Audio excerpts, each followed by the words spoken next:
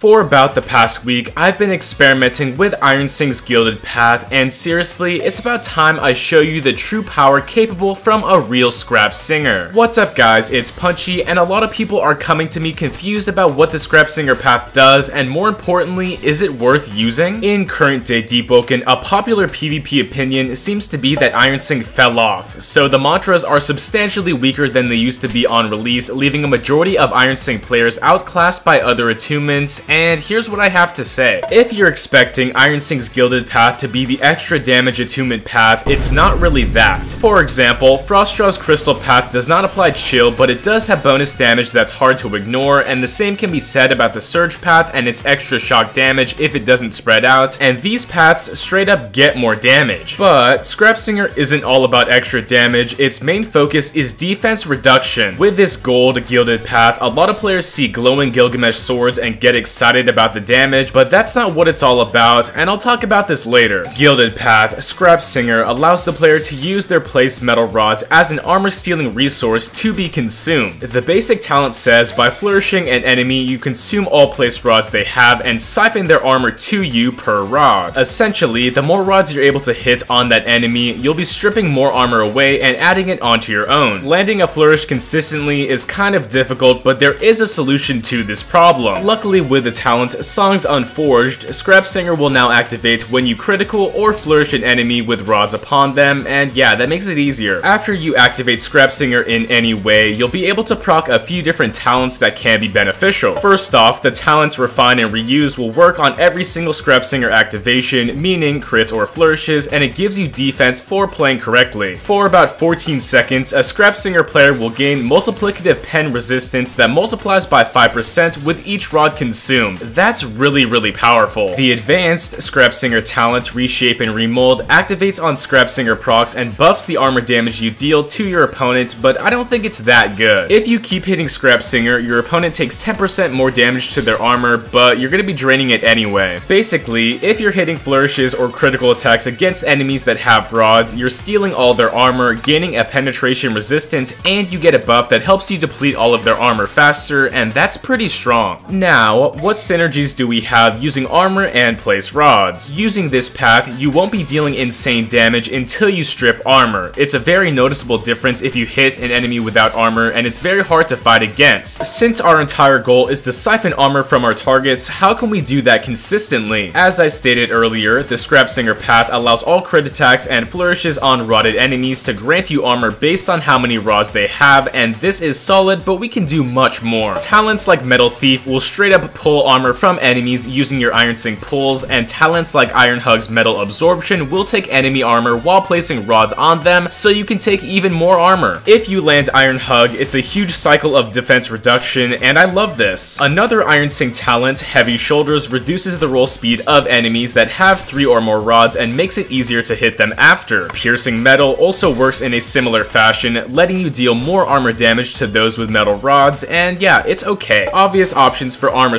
siphoning, like the metal enchants, are ridiculously strong using Scrap Singer, and almost every single interaction results in huge chunks of armor draining away from your enemy, and this hurts. If you have these tools, almost every single 1v1 fight will result in you having full armor and your opponent having zero, but so what? What's the point? Here's what I have to say about that. Players without durability are substantially weaker because they have way less resistance coming from their armor, meaning your M1s do more damage, or mantras, or whatever, you just deal more damage damage. If we want to be specific, we don't deal more damage, but they, you know, they resist it much less. Using a talent like Exposed Durability, we actually can do more damage, 10% bonus, against opponents without armor durability, and that's almost guaranteed if you're running a Siphon-based build, so yeah, pick that up. On the other hand, you can also be using your armor at times with a talent Metal Eater, so another application of armor durability is an instant cast mantra which uses armor instead of ether, and it's basically Hungry Flames. The best part about this is that we always have reserve armor to pull from. Now, the strongest talent added in recent times has got to be Ironsing's Polished Armor. This reads, you receive 10% less damage from attacks if you have over 90% durability. So that's essentially exoskeleton resistance that stacks on top of exoskeleton and every other resistance in the entire game if you have over 90% armor. Sure, 90% seems like a lot, but you're going to be stealing armor with almost every single part of your kit if you're doing this right, and this talent is outstanding for tanky players. Okay, it's time we finally revisit our gold Gilgamesh blades. So on proccing Scrap Singer, you can spawn some extra projectiles with the Talent Artisan's blades, which are pretty interesting. In order to deal damage with these gold blades, you must first hit a critical or flourish to proc Scrap Singer, use up two metal rods, and then hit another metal mantra to deal damage, and that's a lot for you to do. Sure, the swords can deal a lot of damage to those without armor and are hard to defend against, but you have to work for them in to a single pull. You have to work for this, and it's not really that free. A very interesting interaction with the Scrap Singer path that I've been using is the Rending Needles Conductor pull. This Ironsing path is considered the most slept on in my opinion because I rarely see it at play, and on the placement of 5 metal rods, you add a conductor rod that counters elemental mantras and reflects their status, but it will absorb the other rods. What's fun about this path is that with Conductor's Cable, another talent, placing a conductor rod will steal some armor from that target.